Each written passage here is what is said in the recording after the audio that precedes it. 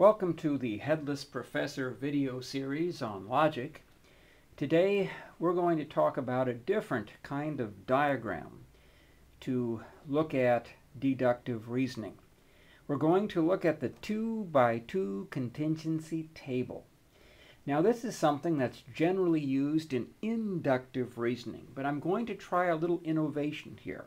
I'm going to show how these 2 by 2 contingency tables can be used for deductive reasoning as well. Now, I'm a professional scientist and only an amateur philosopher, so I think in terms of inductive reasoning and of using 2 by 2 contingency tables for cross tabulations. But they're also going to be useful in looking at the kinds of categorical reasoning that we have with deductive reasoning.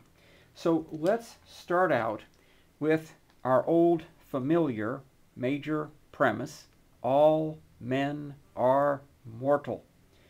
What we're going to do is we're going to draw our 2 by 2 contingency table so that we have our subject defining our rows here.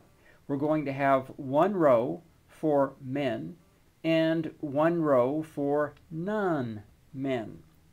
We're going to let our predicate being mortal, define our columns. So we're going to have two columns, one for things that are mortal and one for things that are not mortal. So every subject that we investigate, every person, every case, will be classified as man or not man, mortal or not mortal. Now this is going to give us four different cells to classify any subject in. Men who are mortal, men who are not mortal, non-men who are mortal, and non-men who are not mortal. Now, if we go back to the major premise, all men are mortal, that tells us that one of these four cells is going to be empty. So we're going to put a big X because there are no men who are not mortal. Now let's look at a minor premise that will give us a valid conclusion. Socrates is a man. Well, once I know that Socrates is a man, I know that he's in this row of men. He has to be in one of the two columns, but he can't be in this column because there are no men who are not mortal. So Socrates must be in this column, the mortal common. Therefore, our conclusion is Socrates is mortal. Now let's try another minor premise that will yield a valid conclusion. Zeus is not mortal. With that, we know that Zeus is going to be in the not mortal column. He can't be in this cell because there are no men who are not mortal. Therefore, Zeus must be in this row.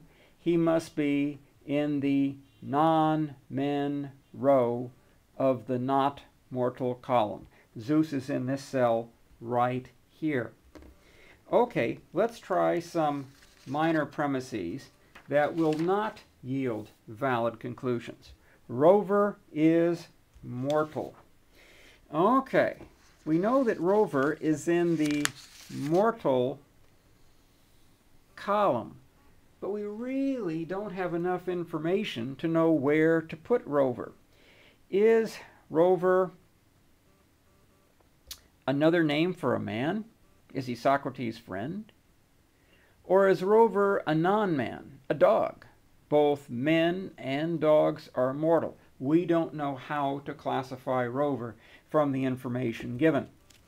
Here's another minor premise that will not give us a valid conclusion. Tabby is not a man. Okay, we know that Tabby has to be in the non-men row but we don't know whether to put Tabby in the mortal column or maybe in the non-mortal column. If Tabby is a cat, that's another mortal being, but if Tabby is another Greek deity along with Zeus, tabby would be in the uh, not mortal column. The 2 by 2 contingency table can also be used with no statements, such as no cats have wings. Here, our 2 by 2 contingency table will look like this. One row for cats, row for not cats. Column for the predicate of wings, another column for no wings. Here's our minor premise. Felix is a cat. Okay, where do we put Felix? Felix is a cat, but there's a big empty slot here because no cats have wings. So we can't put Felix in the first column. Felix must therefore be in this cell, the cell that has no wings. If Felix is a cat, Felix has no wings. Let's try another minor premise that will yield a valid conclusion. Tweety has wings. Okay, we know that Tweety is in the wings column. And because this cell is empty, no cats have wings, Tweety must be a non-cat. Now let's take a look at some minor premises that do not yield valid conclusions. Ariel is not a cat. Okay, well Ariel must therefore be in the bottom row of non-cats. But we don't know where to put Ariel in this row. Is Ariel an angel who has wings? Or is Ariel a mermaid who has no wings? All we know about Ariel is that she is not a cat. Let's try another minor premise that will not yield a valid conclusion. Milhouse is wingless. Okay, we know we've got to put Milhouse in the right column. Milhouse does not have wings. But we don't have enough information to know where to put Milhouse. Is he a uh, blue-haired boy? In which case he would be a non-cat.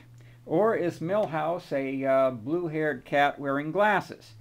Well, in which case we would put him here. We don't have enough information about Milhouse. So that's how we use the 2 by 2 contingency tables to help us figure out deductive syllogisms. If you have any comments about these videos, feel free to contact me.